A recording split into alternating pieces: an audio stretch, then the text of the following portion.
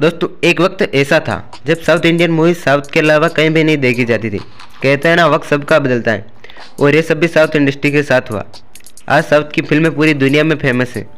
आज हम साउथ के most talented handsome good looking actor Ram Pothineni की बात करने वाले हैं। वीडियो शुरू करने से पहले अगर आप भी राम के फ़ैन हैं तो वीडियो को लाइक कर दें।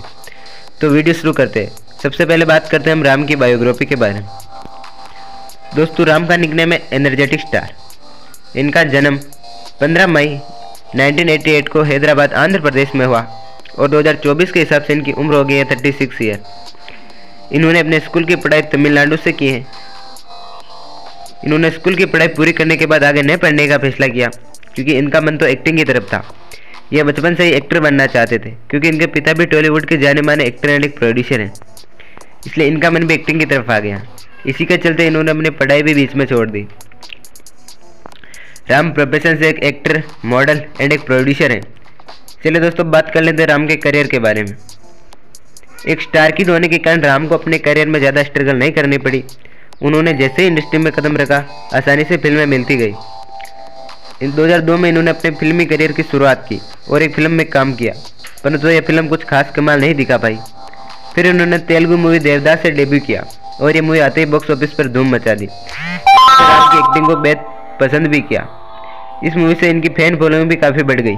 इस मूवी का उनको करियर में आगे बढ़ने में काफ़ी योगदान है। इस मूवी से राम रातों स्टार बन गई। लेकिन 2008 में राम की रेड मूवी रिलीज़ हुई और ये मूवी बड़े पर्दे पर सक्सेसफुल रही।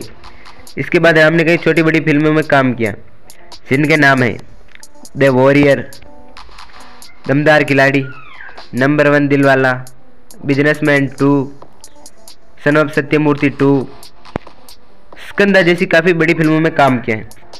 चलिए दोस्तों, बात कर लेते हैं राम के इनकम के बारे में। राम एक मूवी में काम करने के चार करोड़ रुपए चार्ज करते हैं। इसके अलावा ब्रॉन्ड इन्वेस्टमेंट के एक करोड़ रुपए लेते हैं। और राम ने काफ़ी सारी इन्वेस्टमेंट भी किए हैं, जिनसे उनकी अच्छी कमाई हो जाती है। दोस्तों, राम की नेटवर्थ 110 करोड़ रुपए है। अब बात कर लेते हैं राम के हाउस की। राम अपनी फैमिली के साथ हैदराबाद में रहते हैं और इनके घर की प्राइस लगभग 35 करोड़ रुपए है।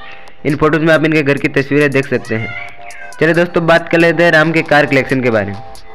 इनको लग्जरीज कार इतना बेहद पसंद है। राम के पास पहली कार है बी एमडब्ल्यू एक्स थ्री जिसकी प्राइस है सत्तर लाख रुपए। राम के पास दूसरी कार है मर्सिडीज बेंज क्लास जिसकी प्राइस है दो करोड़ रुपए।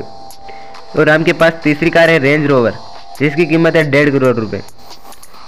तो दोस्तों, ये थी राम की लाइफ वीडियो अगर आप भी राम के फ़ैन हैं तो वीडियो को लाइक कर दें। मिलते हैं अगले वीडियो में।